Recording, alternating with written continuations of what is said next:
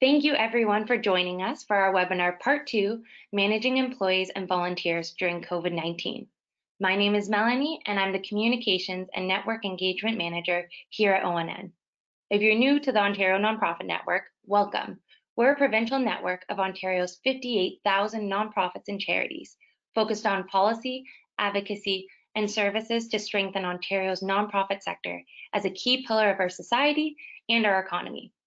If you're already a member of ONN, welcome back and thank you so much for your support. Our public policy research and advocacy work would not be possible without you. If you experience any technical difficulties during this webinar, such as a visual lag, we recommend you closing your browser and then reopening it, but stay on the line with us. If you experience any problems, you can also type them into the chat box or call our office at 416 642 5786. So while we're waiting for a couple more folks to join, I'm just going to launch a poll to see what you guys are looking forward to the most to learn about during this webinar. So are you uh, excited to learn about policy updates regarding Canada's nonprofit and charitable sector from Imagine Canada? Are you interested in learning more about employment benefit updates or health and safety issues affecting nonprofits? Um, are you interested in learning about the implications of temporary layoffs and workforce reductions to your team? Or are you looking forward to diving deeper and learning more through our live question and answer period?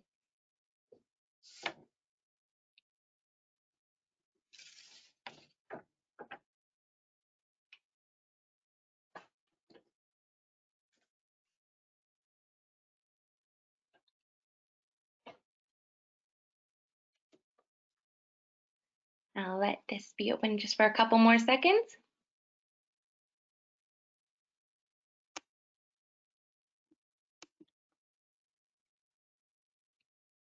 It's great to see so many people interested in different things. We are going to be covering all these topics today, plus we'll make sure to send you a slide deck that includes some notes from today's presentation in addition to the recording.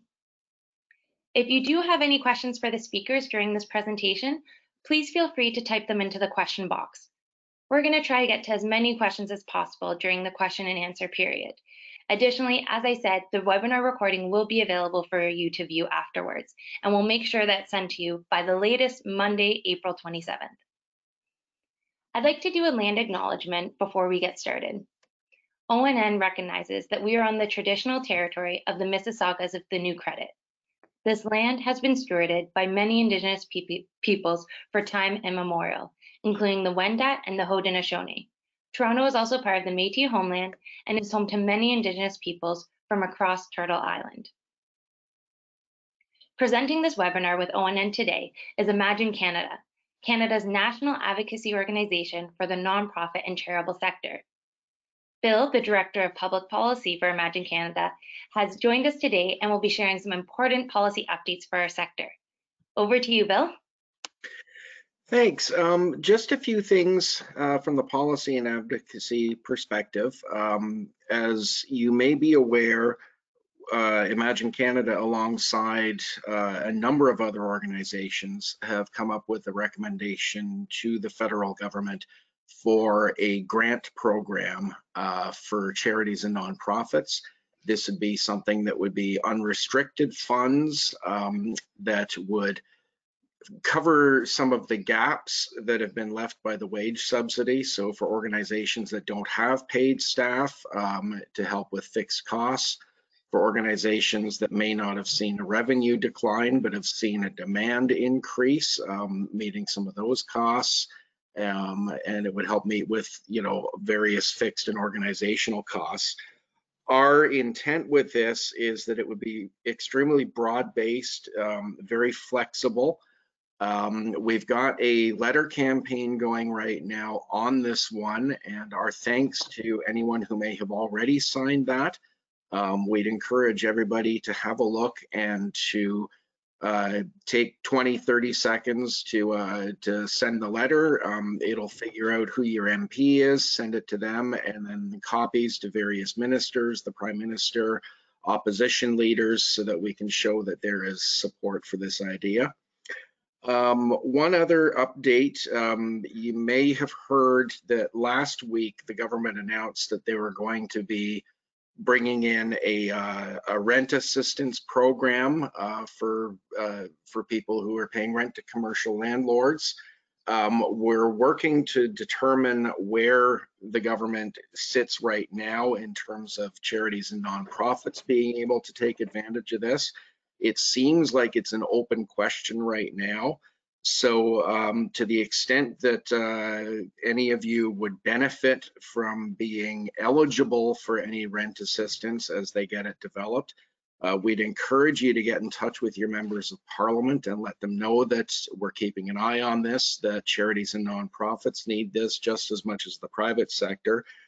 And especially those of you who may be based in or live in Toronto Centre, where your MP happens to be one Bill Morneau, Minister of Finance, um, it would be really helpful for him to be hearing that message from people on the ground.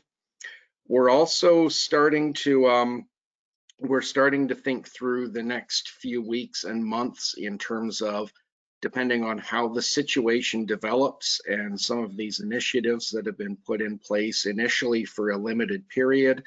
Uh, so the wage subsidy particularly, and what things might look like, what the needs might be going forward, if any of those uh, get extended depending on the economic situation.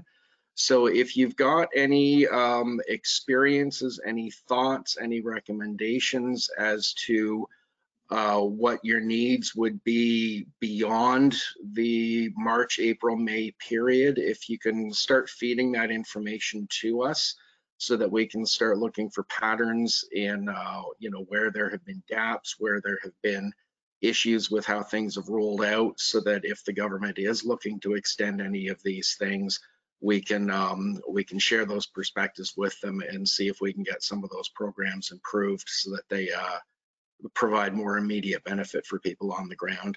The other thing too I should mention related to the wage subsidy is the CRA does now have a calculator online. Um, it walks you through the various definitions and allows organizations to basically do a calculation, estimate what they'd be um, what they'd be eligible for and get that application process rolling on that. Um, we've got a link to that.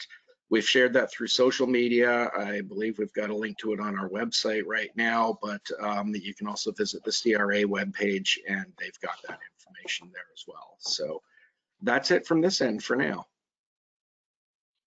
Wonderful. Thank you so much, Bill, for the great update. Uh, so next, I would like to introduce our main speaker. So our main presenter today is Gita Anand. Gita is the Associate Counsel for Miller Thomson Lawyers. Gita's practice focuses on labor relations, employment law, and litigation. Advising and representing management on a wide range of matters, Gita acts for her clients within the private and public sectors in both union and non-union workplaces. Gita also acts as an investigator and fact finder in the public and private sectors, conducting work, workplace investigations involving employment related issues. Um, thank you so much, Gita, for generously donating your time again to Ontario Nonprofit Network and to all the nonprofits across Canada that you're supporting through this presentation. We really appreciate it. And now, um, over to you, Gita. Good afternoon, everyone. Uh, welcome back. If you had joined us at the end of March, uh, and welcome if uh, you're tuning in now to part two. Uh, the legal landscape as far as employment law is concerned is uh, is evolving fast and furious as uh, various governments uh, issue emergency orders, legislation, and directives to employers and uh, provide benefits for employees. So uh, what I'd like to do uh, first is to talk about uh, a couple of government initiatives in relation to COVID-19. One uh, which had existed uh, at the end of March, but has been expanded, and the um, wage subsidy, which had just been announced on the day that our previous seminar or webinar had taken place, and uh, to speak a little bit about how that has now been uh, detailed by the government. Uh, and then we'll go on to another topic and, and then the last topic. So first of all, the Com Canada Emergency Response Benefit, or the CERB, uh, was introduced to provide temporary income to support workers who had stopped working due to COVID-19. And this um, can be claimed by employees or self-employed individuals who have stopped working and or are earning less than $1,000 a month. Um, in order to be eligible, uh, employees must have had income of at least $5,000 in 2019 or in the 12 months prior to the application. And under this program, employees are expected to be without employment for at least 14 consecutive days in the initial four-week period. And it's available at $2,000 a month for four months, March to June. And applications are actually fairly easy. Uh, they can be made online through a My Account or Service Canada account, and also by calling uh, Service Canada. So uh, it's uh, it's an interesting and quick, nimble response, and almost uh, as you can probably if you probably have seen, some of the commentators are saying it's you know on the path towards a universal basic income type vehicle. Um, so these changes that were made and introduced are retroactive to March. And um, so, so that's the CERB. The second thing that was introduced uh, at the end of March was the Canada Emergency Wage Subsidy.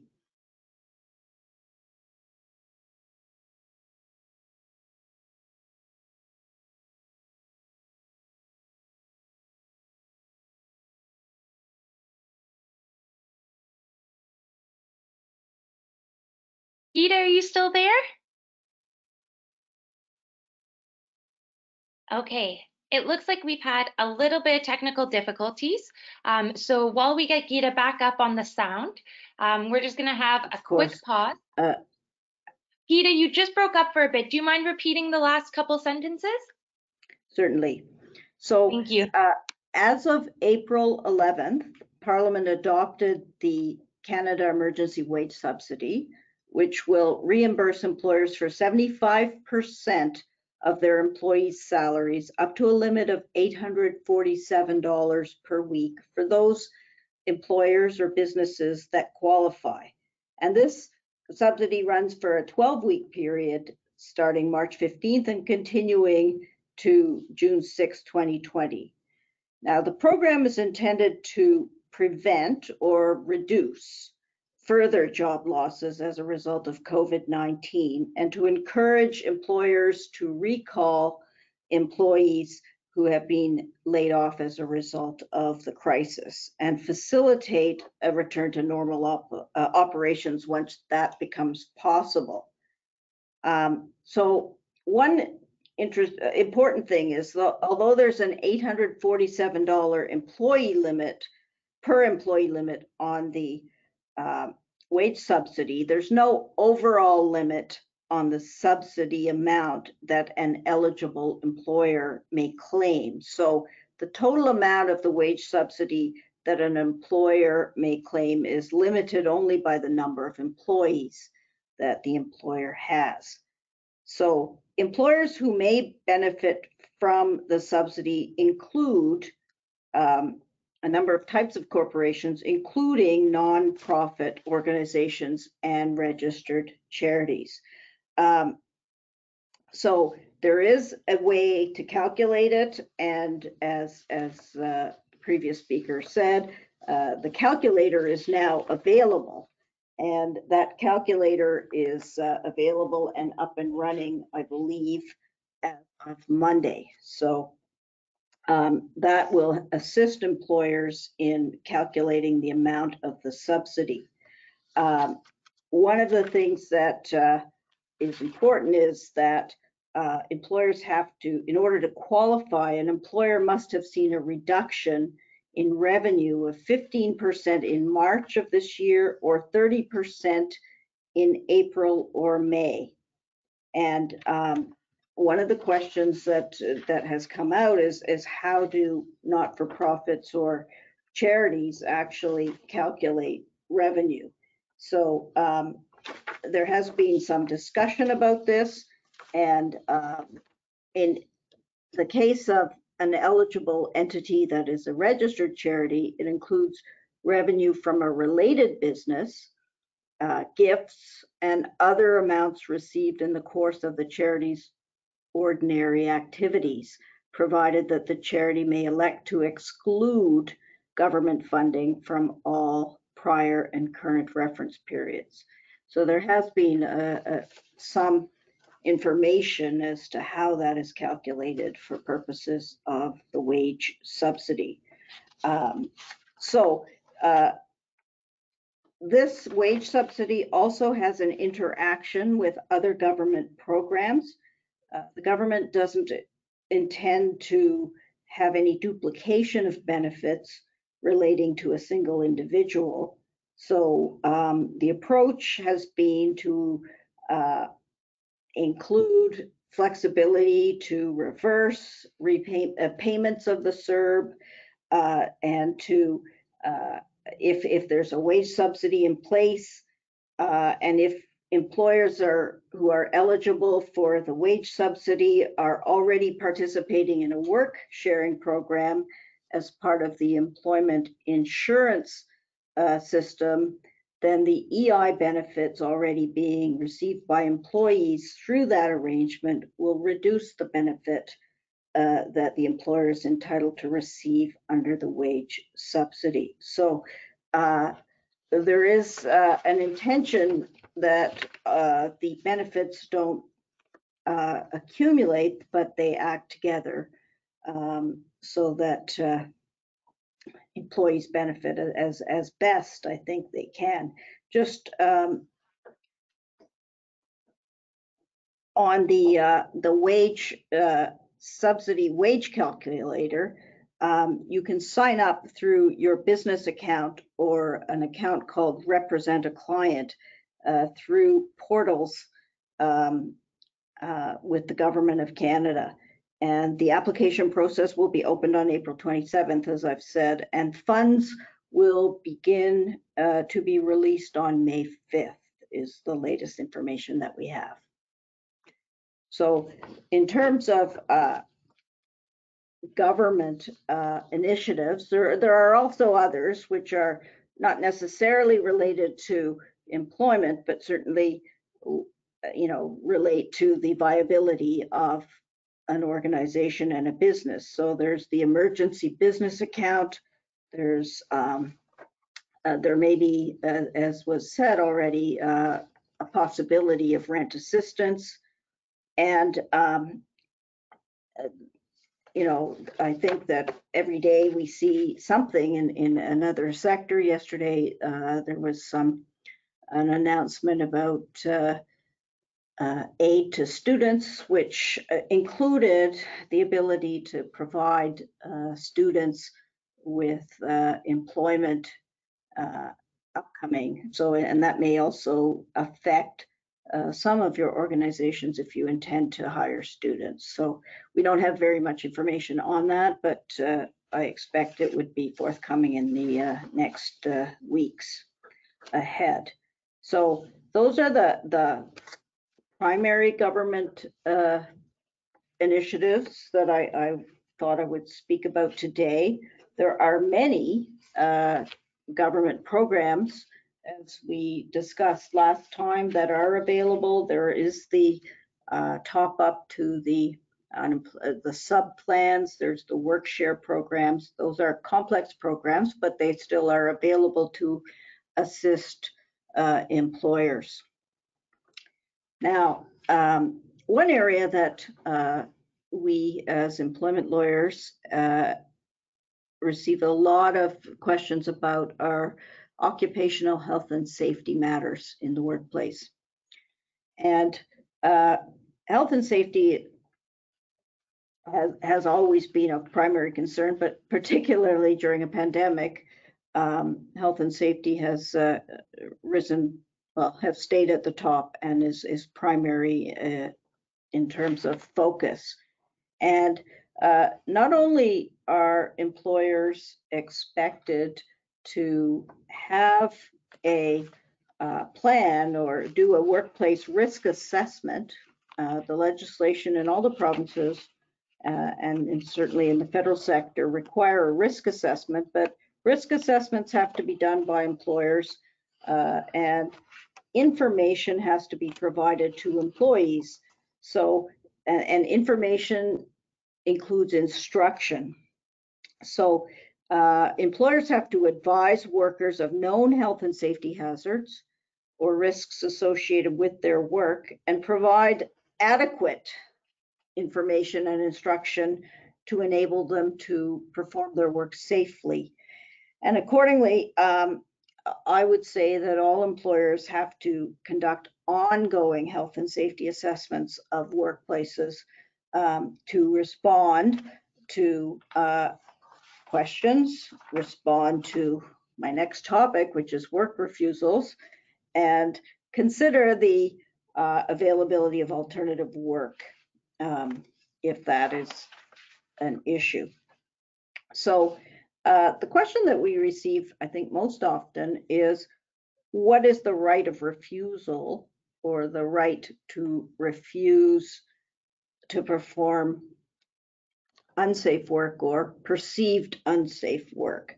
So the basic premise is that all workers have a right to a working environment that protects their health and safety. And so all the laws, the occupational health and safety laws across the country, generally speaking, uh, allow an employee to refuse uh, to perform their work.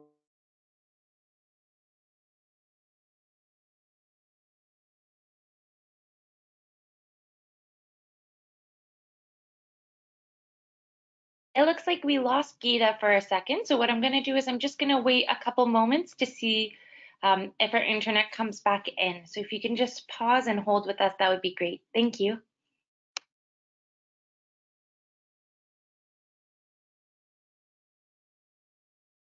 Organism in in all jurisdictions.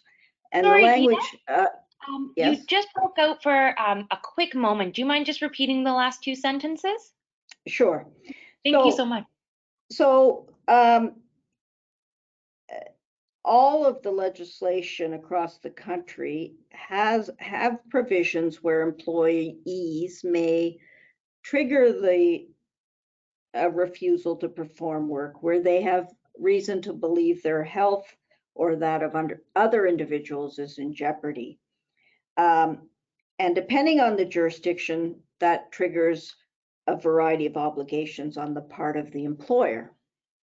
So the next question is what is the threshold for the exercise of that kind of right?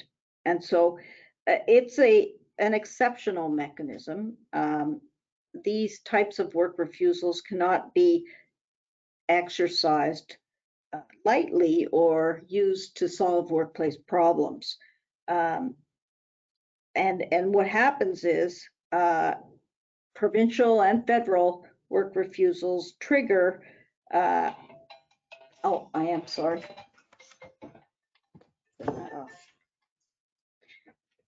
My apologies. Um, a trigger a right, uh, uh, trigger an investigation by a provincial authority or at the very least by a joint health and safety committee if, if a joint health and safety committee uh, exists. And um, uh, so what happens then is, uh, you know, if a joint health and safety committee exists, then there's an investigation. Uh, if the Ministry of Labor is called in, there is an investigation. And what can the employer do while waiting for an authority to render a decision? An employer can ask an employee to do uh, another job, alternative work, or may ask another worker to perform the work which was refused, but only if the employer informs the replacement worker of the other worker's refusal and the grounds for refusing it. Um, and the alternative worker may then have the right to accept or refuse to do the work in question. Um, are there exceptions to the right to refuse unsafe work? Yes. Uh, generally, there are two exceptions to the right to refuse unsafe work. First, dangers or hazards which are inherent to the worker's work or which are normal conditions of the worker's employment will not generally give rise to the right of refusal. And secondly, when the right to refuse would directly endanger the life, safety, or health of another person, the worker is usually prohibited from exercising a right to refuse unsafe work. And so these types of exceptions would include, for example, frontline workers, police officers, firefighters, healthcare workers, uh, with regard to certain dangers. So that brings us to whether an employee can refuse to perform work based on the COVID-19 pandemic.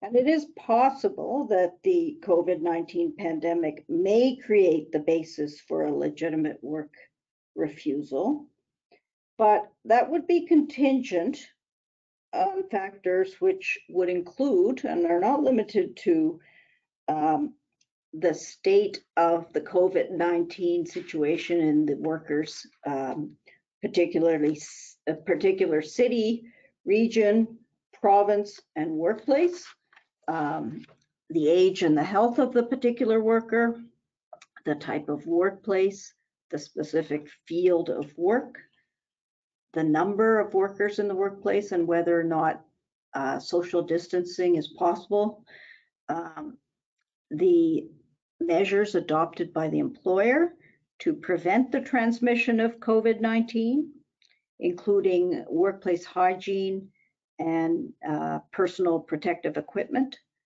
uh, provided, uh, whether or not the employee or the employer has been diagnosed with COVID-19, whether the worker or the circumstances fall into a legislative exception on the right to refuse unsafe work. And then, of course, any other factual circumstances which are relevant. Um, so you know, it's an open question. In, in some recent cases, uh, frontline workers who have been provided with PPE and who um, have been um, provided with information, instruction, and uh, all of the, uh, and a risk assessment uh, have been deemed by the ministry not to have uh, being asked to do unsafe work. So, uh, but of course now you, you may be aware that there are some court cases uh, brought by uh, the Ontario Nurses Association at this point uh, at court um, relating to the provision of adequate PPE and other issues. So uh, it's an open question. Uh, certainly employers have to do everything that they can possibly do to um, protect the health and safety of the workers that work in the operations. Um, the next uh, topic I just want to touch upon, which is, uh, is another big topic, which is uh, workforce reductions. Um, uh, many of you and, and many employers, and, and certainly we read about how many job losses there have been in the past uh, uh, four weeks.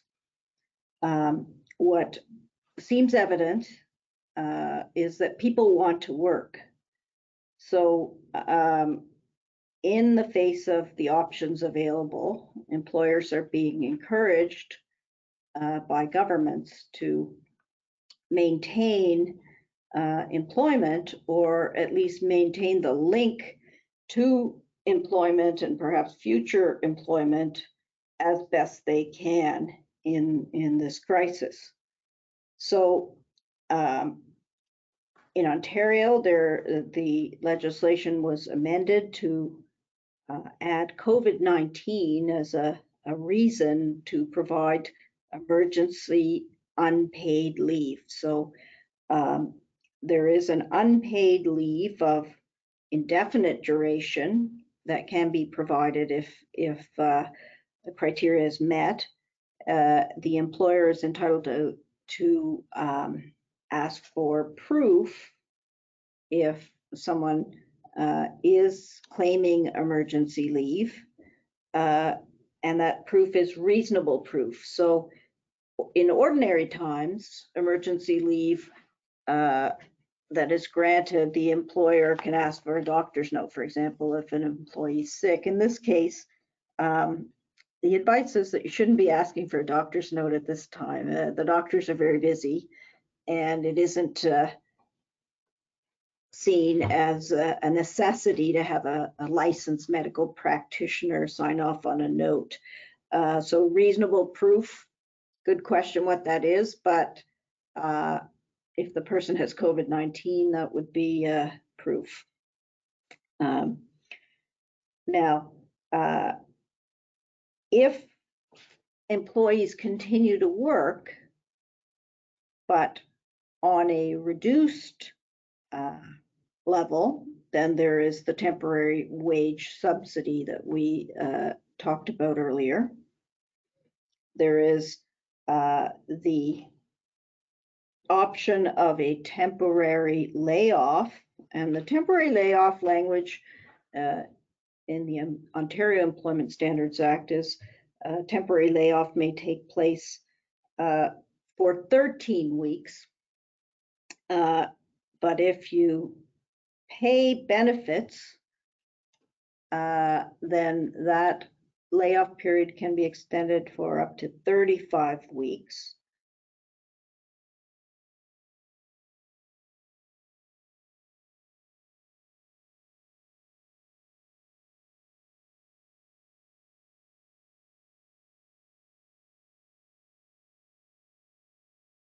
It seems like um, Gita's internet has just gone out for a moment, so we're just going to pause again for a couple seconds until it comes back in.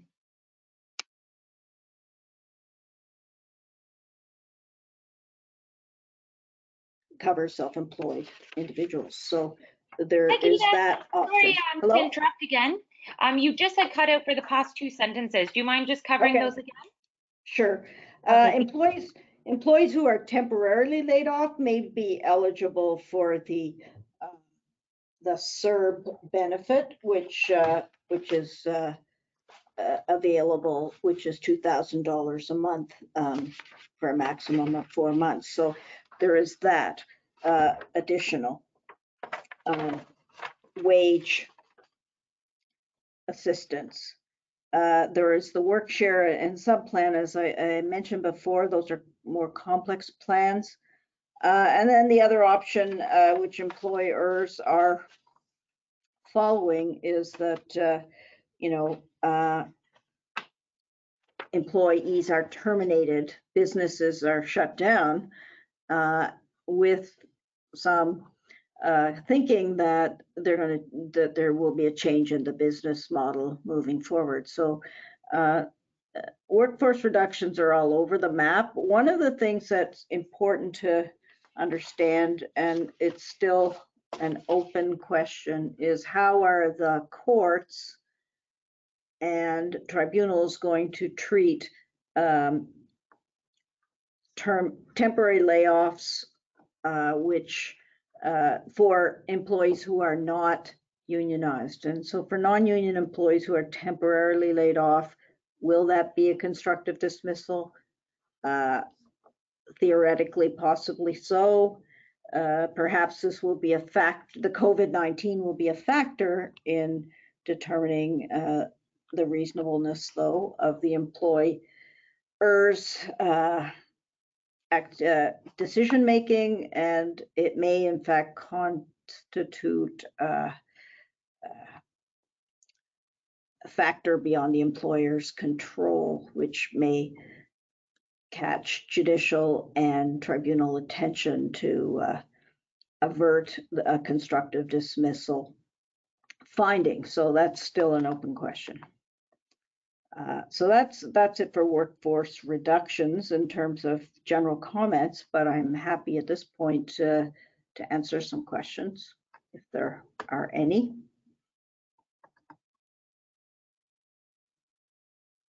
Wonderful. Thank you so much, Gita. So we have a lot of questions that are coming in. Um, so thank you everyone for putting, writing down your questions. We're going to try to get to as many as possible today. Um, so to get started, we actually had um, one that just came in that I found was um, interesting, and it was about the refusal to go back to work once everything is open. So the example this person gave is, what if you have, let's say, a front desk clerk who requires, in order to do their job, they need to be at the front um, welcoming people to come into the office. Once the government opens offices up, is that person required to come into work or are they allowed to refuse to come into work because they feel like it's still unsafe, even if public health has said offices can open up again? So if the employer is following the guidelines of public health uh, and the uh, guidelines and, and directives of the city of Toronto, let's say it's in Toronto or whatever municipality it happens to be, uh, then a work refusal may be unreasonable. Uh, If the employer, you know, I think that it depends, it's kind of hard to answer in a vacuum, but let me just say that I- it would be my expectation that social distancing is going to, or physical distancing is going to be around for a long time. So if someone is at reception, uh, you know, there are measures that the employer can take that will certainly maintain the distancing even at reception. And, and I, and I'm sure many of you have been in uh, retail establishments or places where um, the social, the physical distancing is maintained and business can be conducted. So uh, it would be, in my view, unreasonable for someone to just not come to work in those circumstances. And a follow-up question, um, they just wanted a bit of clarification. So whether it's a front desk position, maybe it's a janitorial position, are they able to wear masks at work? Is that something that an employer, I guess their question is probably coming from the employee side. Are they able to say that they want to wear a mask and is their employer able to stop them from doing that? Well, I think that uh, the employer and the employee or employees would have a discussion. It may be that masks might be, at that point, uh, it- there may be a directive to wear masks. We don't know that, but if there isn't, uh, and the employee desires to wear a mask and their job is such that wearing a mask will not prohibit them from performing their duties, uh, then, you know, then the employer, I think, has to act with reasonableness. And uh, if it is the employee's wish to wear a mask, you know, just like it may be a wish to wear a sweater, then, uh, you know, then the reasonable decision should be made. And is there um, a guideline that people, that employers should look to for in terms of physical infrastructure for this? So let's say, does every employer need to have the plexiglass divider between their employee and maybe people they come in contact with? Or do you think when public health opens this up to everyone, that this is something that people are going to be able to choose at their discretion or what with whatever is you know capable for their own capacity? Yeah, I mean, uh, clearly the distance guideline has to be followed. So if someone is standing six feet away and talking and maintains the distance, and there are lots of ways to maintain the distance, people put up barriers so that someone can't get closer, uh, then there may not be a need to be putting up plexiglass dividers, uh, which may or may not be of any assistance in preventing the spread of COVID. And kind of staying on the similar topic of um, trying to make workplaces safer. safer. Um, someone asked, can an employer ask for hazard pay for jobs that have become more dangerous because of COVID-19? So the example they were giving, like for example, PSWs, their jobs are significantly more challenging and dangerous right now. um, uh, some some employees have asked for uh, for uh, danger. I'll call it danger pay, or you know some kind of extra pay for uh, frontline work. Uh, if they're unionized, then that is a, an issue that a union will will raise with the employer. Uh, for non-union employees, you know, it's not generally part of the employment contract, and uh, there would have to, you know, that that would be a bargain between the employee and the employer, uh, which is outside the normal terms and conditions of employment. There's no obligation per se to provide someone with extra money. Okay, thank you. And shifting gears a little bit, I see a lot of people asking about the wage subsidy and specifically that they're what they're reading is that saying it's like a paid leave, but what they feel is that there's actually a lot of jobs that, that can be done online. So if someone is getting the wage subsidy, are they able to still ask their staff to complete work online? Oh yeah, no, the wage subsidy is there for uh, only for people who are working. It's not available, the, the, the other one, the CERB, is for those who are not working.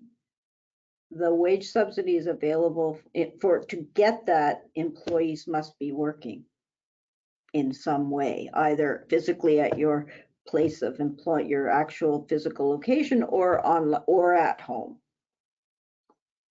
Okay, thank you. And then another question that was kind of similar, which really just goes to what you were talking about, is if someone did lay off their staff um, and they um, applied for the CERB, and so now the staff is getting paid, they wanted to have clarification on if they can ask their staff to work while they're getting that payment for being unemployed due to COVID.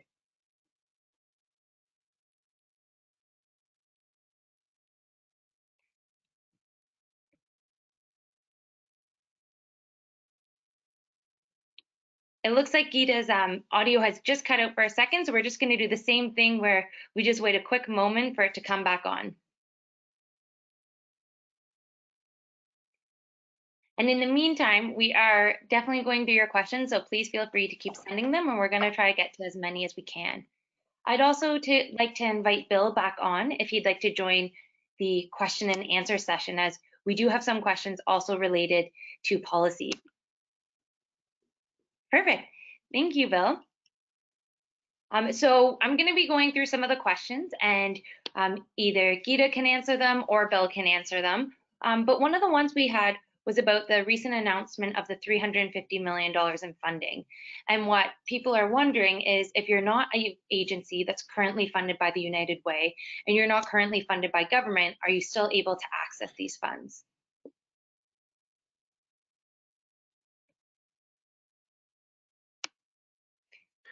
We're still waiting to see some of the specific details. My understanding is that it's not limited to organizations that are currently receiving funding from either United Way or Red Cross or a community foundation, that it's um, they're the distribution channels um, and they'll be administering it, but it's not limited to current recipients. That's my understanding.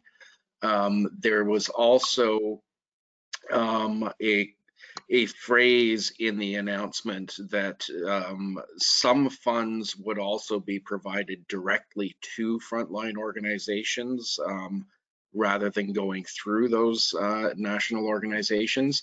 Um, again, we don't know how much that's going to be or what the mechanism what the mechanism will be to apply. So as soon as we have that information, we'll be passing that along to people. Perfect, thank you. And we will be sending the links to the Imagine Canada web pages so that way you can sign up for their newsletter and as updates come in, you can get them sent directly to you as well. So I'm just trying to go through all of these great questions.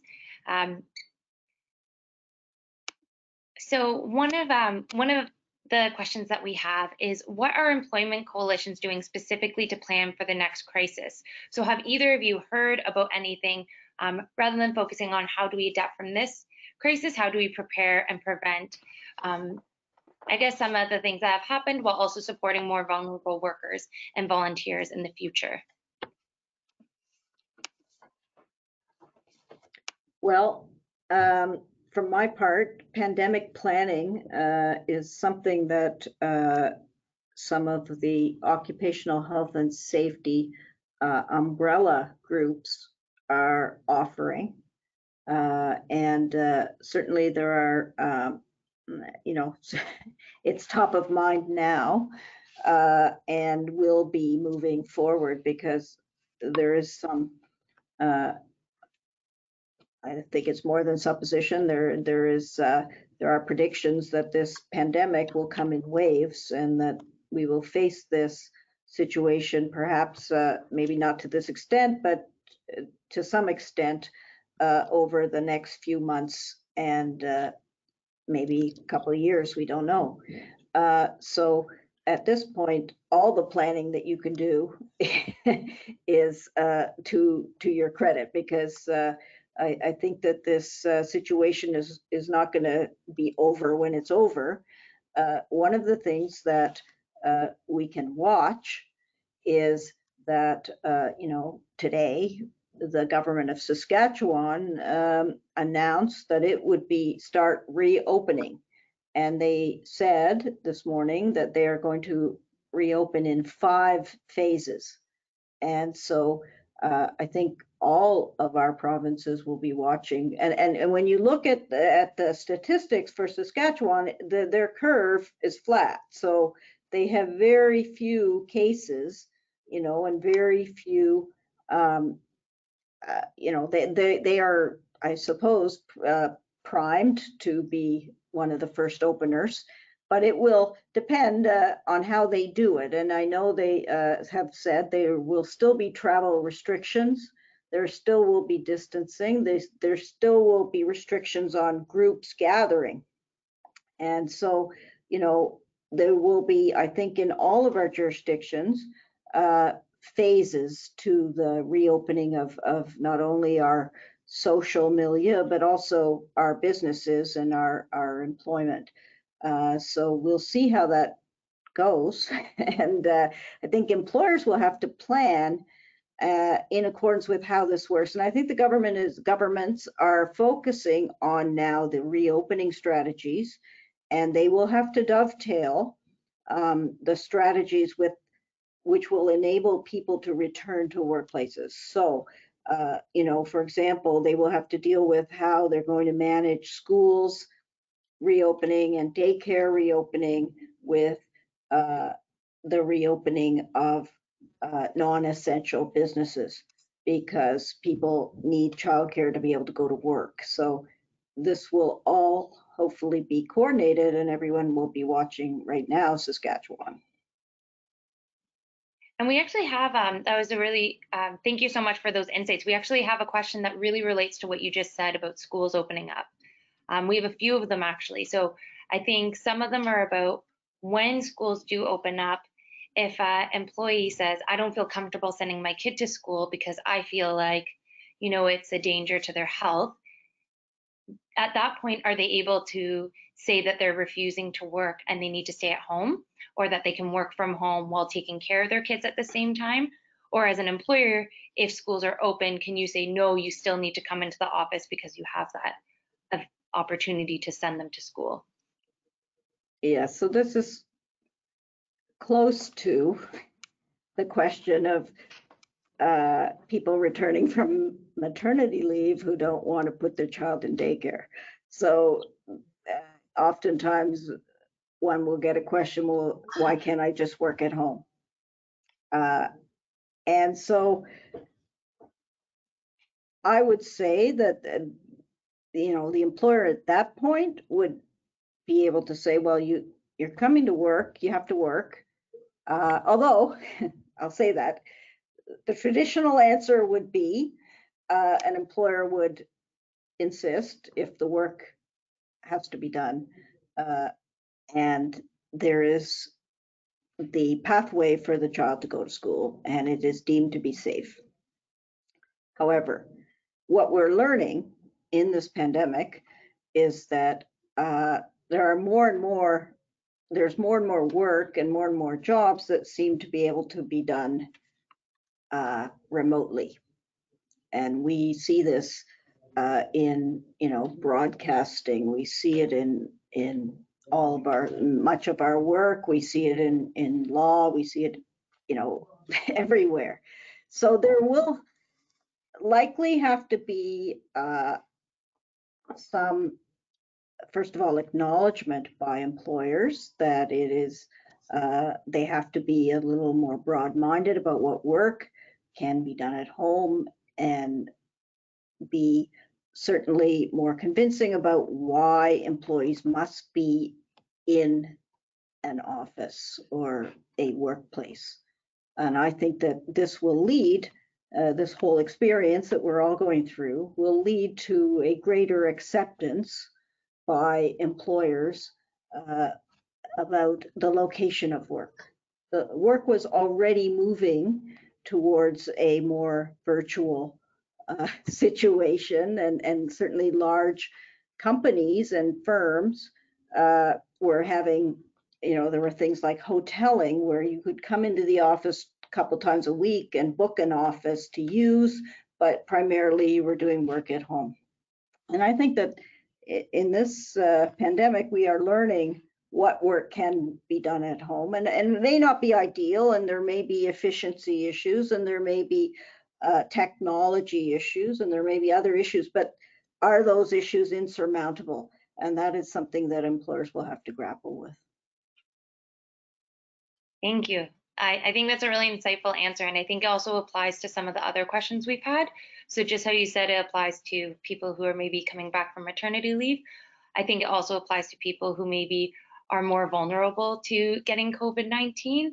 Would that be correct, that if someone is more likely to get COVID-19, that employers should try to make accommodations even if everyone else is returning back to the office?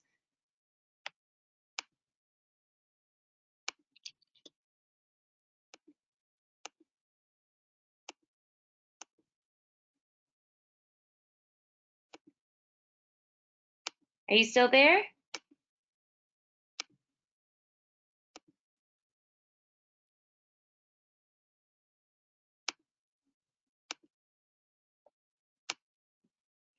Okay, can you hear me? Yes, I can hear you. Sorry Okay, about that. Yes, Like our um, certainly.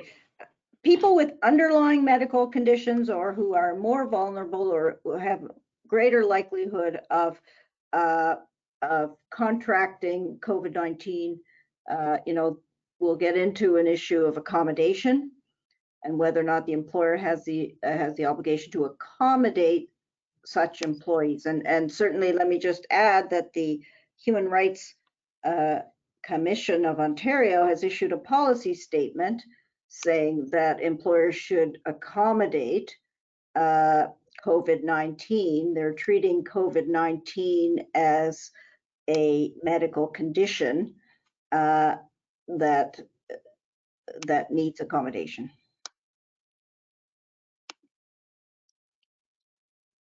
Okay, great. And the last kind of um, grouping of questions I'd like to ask today, because we have had a few questions about them, but um, we've had a lot of questions about how to, what is the definition of revenue? And was the definition specifically for revenue loss? So we had some people who are asking, you know, what happens if I had a revenue loss, but it wasn't because of COVID? So if they lost a grant, let's say in December, so it had nothing to do with COVID-19, can they still apply for the wage subsidy, even though that wasn't why their revenue was lost? So could you maybe clarify, um, whether it's you or Bill, maybe just what does revenue loss, um, what is the definition of the revenue loss and what's included in that? I'm going to ask Bill to uh, chime in on that one. Uh, I'm really not a an expert in in revenue, so Well, yeah, from um from what we've seen so far is um there's there's no test to prove that the revenue loss was caused by COVID. Um, so essentially, um, charities and nonprofits, um, there- there's there's some flexibility at the outset in terms of how you actually calculate your revenues. Um, so first off, you can take your March 2020 revenue, you know, for for that first month worth of eligibility. You can either compare it to March of 2019 or you can compare it to January, the average of January, February of 2020. Um, if you use March 2019, then when it comes to April and then May, you have to look back to April and May last year for eligibility for those months. If you use that January, February average, then you use that each time you're calculating. So that's the first thing. The second thing that they've done is you can choose as an organization whether to include the revenues you receive from government or exclude those. So if you get a fair amount of your revenue from government, um, but then your other revenues have dropped, you can factor out the government revenues and just look at those other revenues um, in order to qualify. Or if it's the opposite situation, your other revenues have held stable, but you've lost your government funding, then um, you you can choose whichever method you want. Um, just whichever method you choose, you have to use it each month. Um, as well, you can choose whether you use cash or accrual. So um, for your accounting, so you know, monies that were supposed to come in in March, but you didn't get the cash, um, you can just count your cash flow rather than the receivables and and what the accountants would normally do. So there's a fair bit of flexibility there. Um, the the the the the goal that's been stated is that they want as many organizations to qualify as possible. So um, so like I said, there's no test to prove that the revenue loss was caused by COVID. Um, you either lost your revenues are either down or they're not. Um, you don't have to give a, a reason for that. And um, with all the with all the different permutations of how you can calculate it, um, you can basically, as an organization, um, choose whichever one gets you into that um, that category of qualifying, as long as you then use that same method each month going forward. Great, that answer is so helpful. Um, I think that answered so many of the questions that we had. So I would like to leave it on that note. Um, but before we finish, I just want to say thank you so much for Gita for taking the time to do another presentation with us and for Bill for providing your updates and also the useful information for the nonprofits and charities on the call. And lastly, thank you so much for everyone who joined this call. We're always grateful to have your support and we look forward to doing more webinars with you in the future. Have a wonderful day, everyone. Thanks, you too. Bye.